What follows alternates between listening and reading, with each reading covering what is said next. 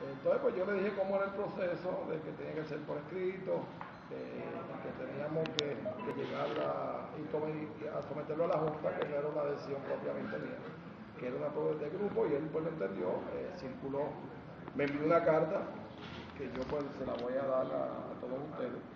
Eh, y entonces, algo sí que quiero notar antes de, que Olivero pues siga en la otra etapa cuando se reunió la Junta. Quiero decirle que pude percibirle en ese momento cuando él habló conmigo que yo le dije que íbamos a mantener esto en confidencialidad entre él y yo. Y obviamente se mantuvo tanto en confidencialidad que al día de hoy, a partir de la primera vez que nos reunimos y que él me dio la carta, que fue la fecha del 17 de noviembre, hoy estamos a 17 de febrero y aquí nadie sabía nada. Difícilmente en el deporte uno encuentre eso, porque normalmente confidencialidad no hay, lo sabe todo el mundo.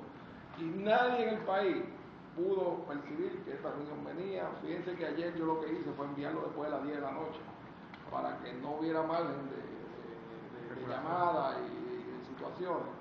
Eh, y yo pues quiero reconocer que, que él mantuvo la confidencialidad y que, yo la, y que yo la mantuve también, porque ni siquiera la esposa mía sabía lo que estaba pasando.